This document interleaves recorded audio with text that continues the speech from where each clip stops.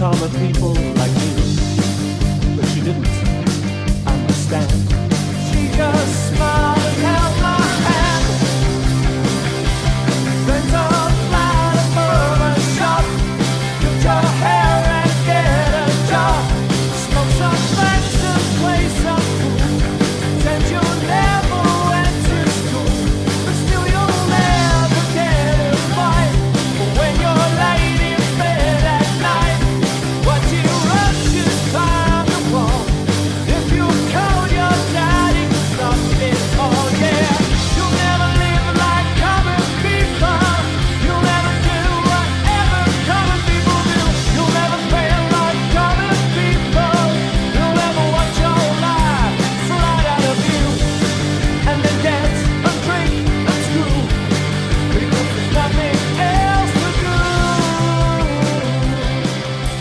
Welcome to a guitar tutorial for the song Common People by Pulp.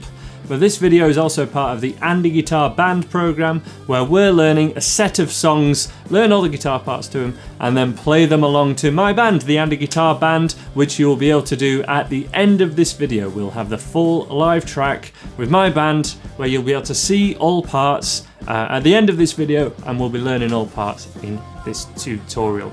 Um, in an effort to make this particular song accessible to as many people as possible, we're going to be covering how to play a very easy way where we only have to play one finger chords for the whole song uh, with using a capo at the third fret. We'll also cover how to do this song without a capo at all and how to play the lead parts uh, that Thomas was playing, the other guitar player in uh, the Andy Guitar Band. In the band performance on the day, I was using my Victory Sheriff 22 with exactly the same settings as we did with the previous song tutorial, which was Teenage Kicks. So channel 1, volume 1, with the volume or gain essentially at about 4 out of 10.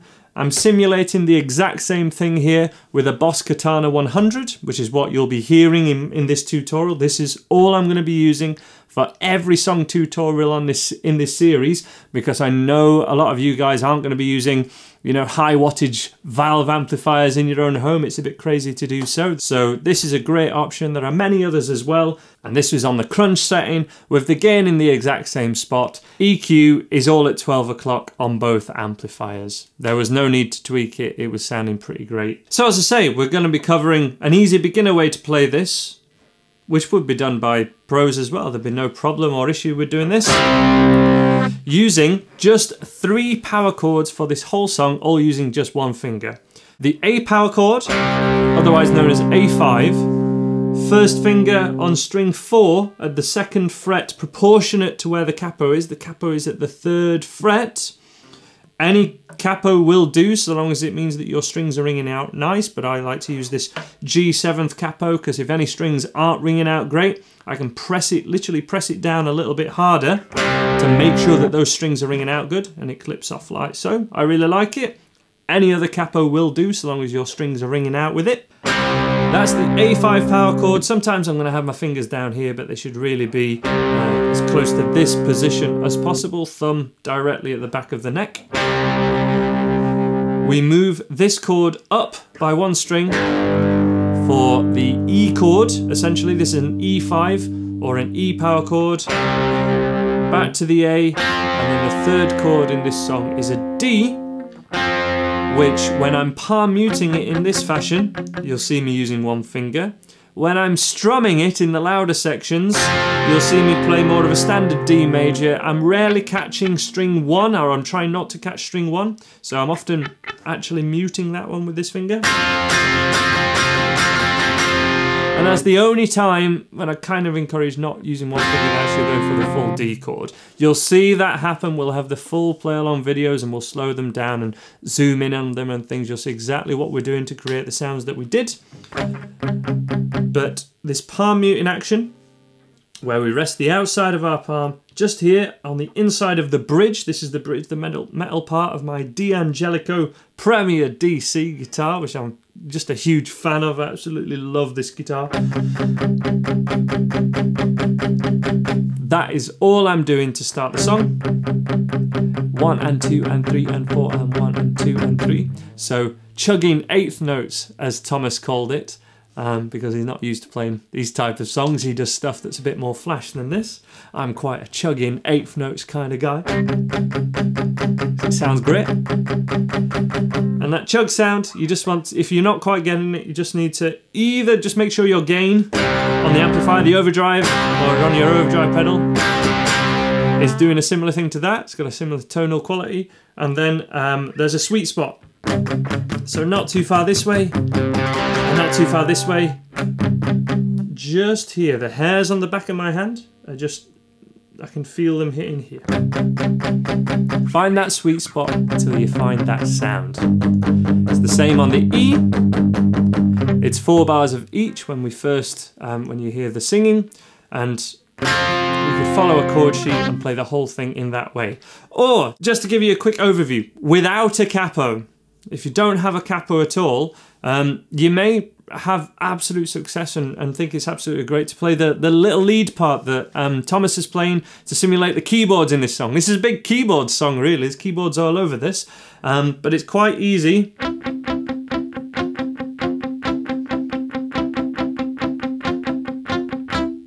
Okay, that's, essentially the keyboard part, but it's quite a similar technique. So we'll be covering that part in full. And if you don't have a capo but want to do the capoed part, the chords actually, in, in reality, you know, without thinking of a capo at all, are the C power chord, a G power chord, and then we'd probably play an F here, though thinking about it as a capo, you know, with a capo at that third fret. That's the F power chord, C, G, and C, and then with the capo. Can you see how they're exactly the same chords sound-wise, but the shapes-wise we'd think about them as the A and the E power chord with the capo, and without, we'd be doing the more standard power chord shapes. If you need more help with that kind of thing, you'll find it at andyguitar.co.uk. Uh, all the beginners course, improver course, and intermediate course, just that main syllabus is the thing that I'd be recommending for that for that general guitar knowledge. And we can even have a slow play along with the band now. This is going to be really exciting and is hopefully the thing that's going to make this series stand out more. When we're learning things, we're comparing them to the live band and then playing along with the live band. So let's have a go at this now. We'll start off with that count of four and then playing this section, just the A power chord, and then when from I start singing, she came from Greece, she had a two, three, four, it's four bars, and then we're on to the E and so on and so forth from there. Just following that chord progression. Let's have a go at that now.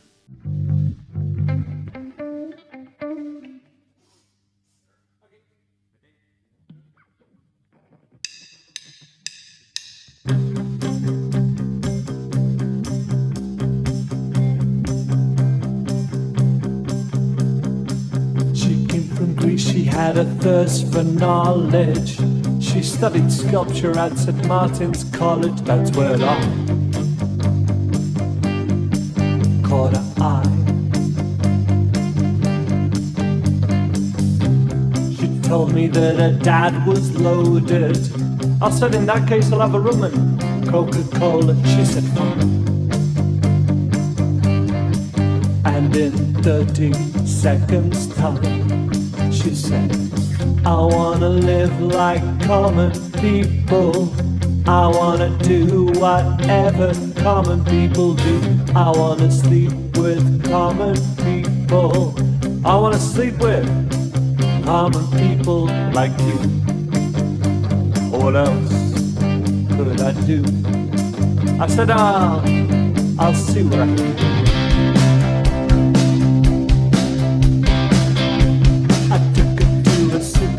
Supermarket. I don't know why, but I had to start it somewhere.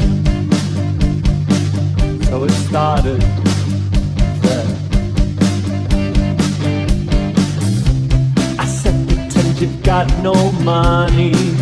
She just laughed and said, oh, you're so funny. I said, yeah.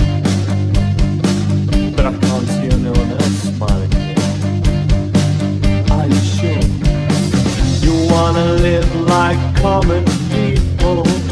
You wanna do whatever common people do. You wanna sleep with common people.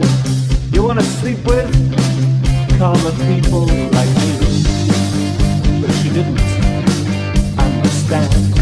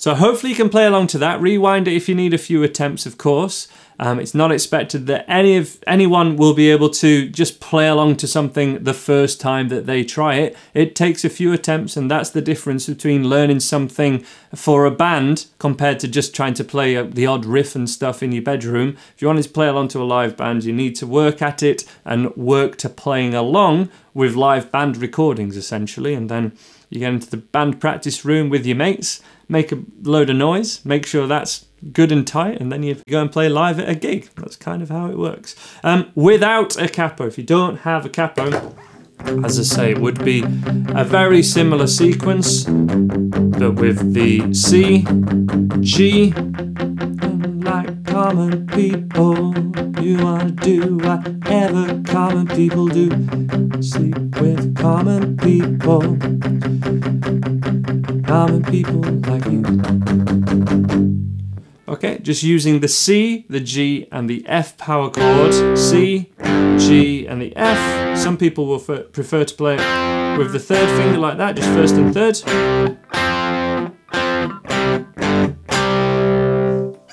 But if you're unsure, use the capoed version and you'll go for it. Let's get on to learning the lead lines now.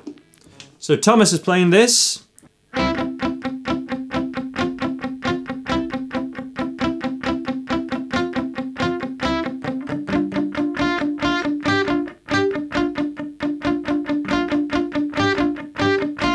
And I'm palm muting that in exactly the same way that I would palm mute these chords. And you're just copying both what the synth line's doing, but it's copying the vocal as well. She came from Greece, she had a thirst for knowledge. She studied sculpture at St. Martin's College, that's where I. So that is a couple of notes from a C chord, essentially going to a C sus4. Only holding down the fifth fret, string two and three. And then it is sixth fret and seventh fret for essentially a G7 chord.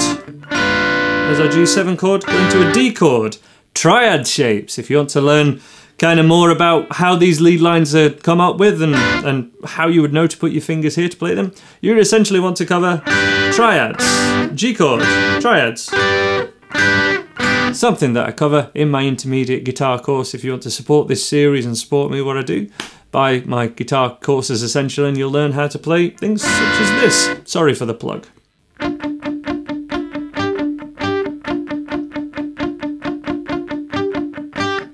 So make sure you've got the rhythm in the C position first. Again, just palm muting. Slight accents. You know, there's a difference between hitting both strings and just sometimes hitting one.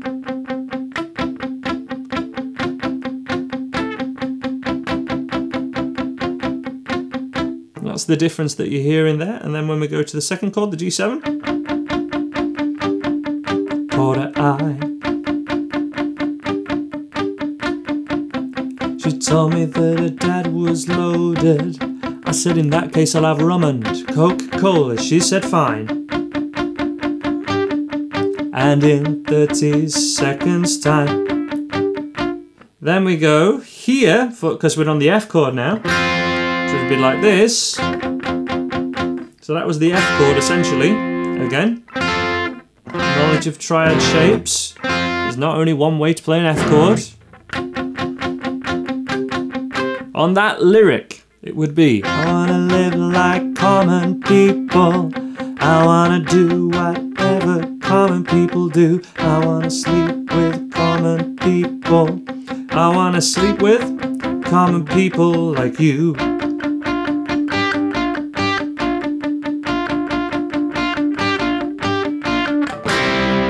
And you'll often see Thomas kind of when we're strumming the chords.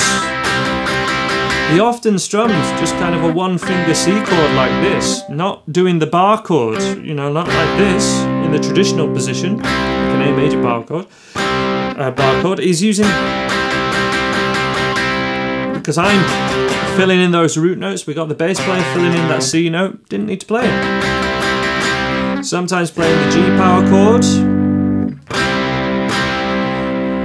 And uh, going from there, I think the other chords that he would have played may have been here, here, and here. You've also got the F chord there when it goes to that F um, in the song. You want to live like common people? It's always an F on that lyric, which should really help you. Let's have a look at the solo. What I did for the sound here is just um, activate my Tube Screamer, TS808, and uh, I'm simulating that on the Boss Katana by putting a booster pedal um, in what would essentially be in front of the sound here. Um, this has all the effects pedals that Boss have, and that's what I'm using to demo all the sounds on this video and in this series. Playing this the same way that I did with the band, it would be like this.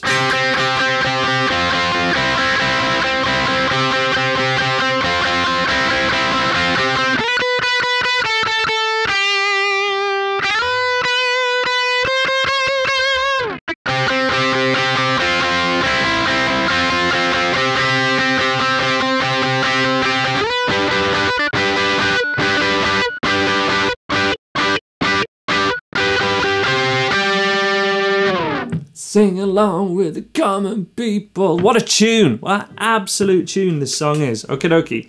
So what we're doing here, I keep saying okie dokie, don't I? Apologies. What we have here is um, a few notes from the C major scale. You don't need to know that, but it's good knowledge. And with or without a capo, this would be exactly the same. This is, if I take the capo off just for ease of viewing, but you can imagine that capo is still there if you want, this would be the 5th fret and then the 8th fret, hitting both those strings together. Middle finger then goes to 6th fret, and then the flat first finger holding down the B string and the G string.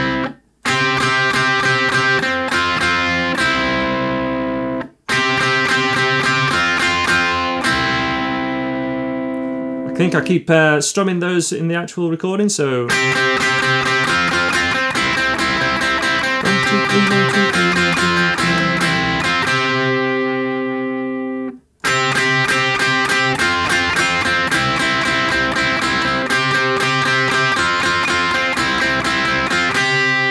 Now, if you don't have a capo, what, the way it's actually played, or the way I used to play it in the band,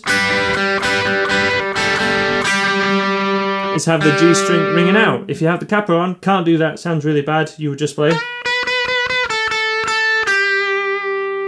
in the same rhythm.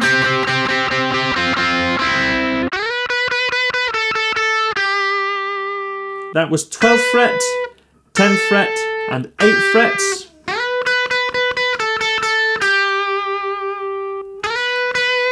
Sliding back up to 12th fret and then hitting 13.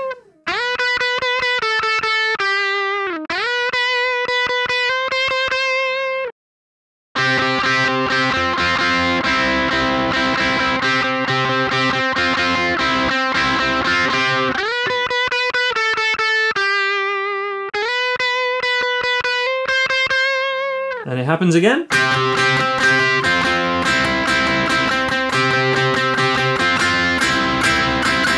Another G triad now. Three notes at the 12th fret. I'm a little bit out of tune, sorry about that, but.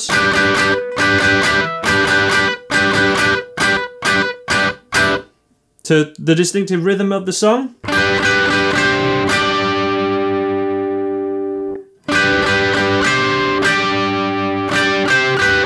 Again, another. Using the major scale yet again. That is certainly an extra bit, you wouldn't need that. Just to kind of jam along to the song. But after that, uh, we'd be back to an F chord. Sing along with the common people, sing along and it might just get you through. So if we are using a capo, and you know, you can play an F chord up here, all these different ways to play the same chords, guys. We've got to start using them if you want to do your own versions of a song like this, which doesn't have prominent guitars in it. It's got a lot of synths, but it's such a great band song. It's such a great example of what you can do in a cover band. Um, and this is us just kind of rocking up um, a pop song, really. So with a capo, just as a final demo of that solo, three, four.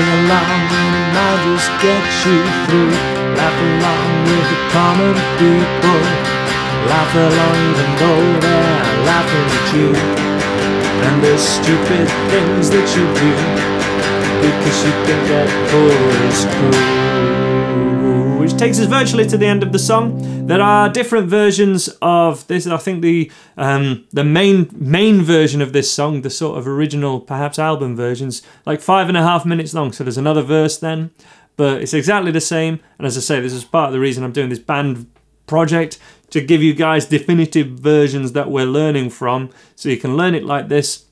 And then if you want to learn it another way or do your own thing, go for it. That's entirely, you know, the purpose behind this course. So let's have a look at that solo in total now with the band, and then we're going to play along to the full band recording. This will be slowed down to 75% speed to give you guys, so you can see exactly what you're doing, but give you guys um, that experience of playing along at a slower speed before we go up to 100% tempo and play along with the full recording. Here's the solo now.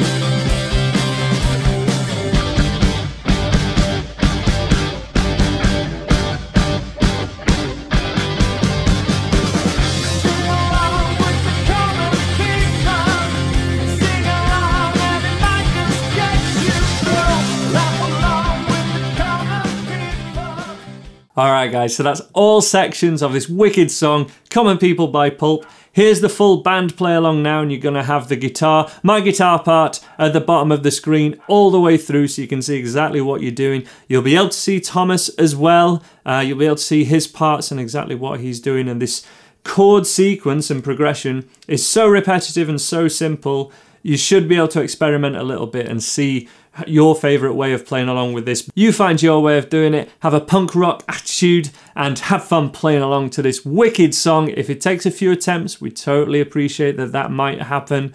Um, but here it is, full play along version at full tempo Common People by Pulp.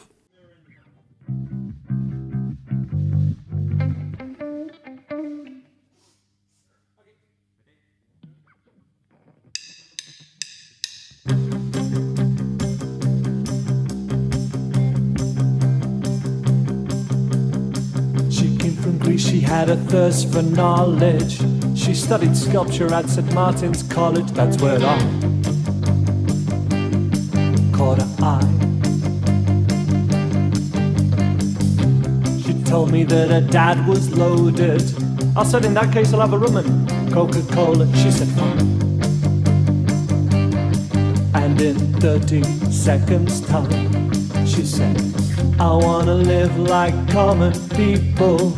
I wanna do whatever common people do. I wanna sleep with common people. I wanna sleep with common people like you.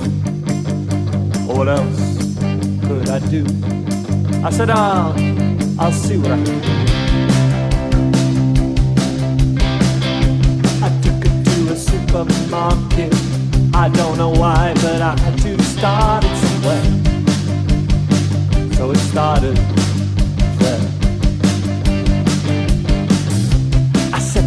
you've got no money. She just laughed and said, oh, you're so funny. I said, yeah. But I can't see anyone else smiling. Are you sure? You wanna live like common people. You wanna do whatever common people do. You wanna sleep with common people.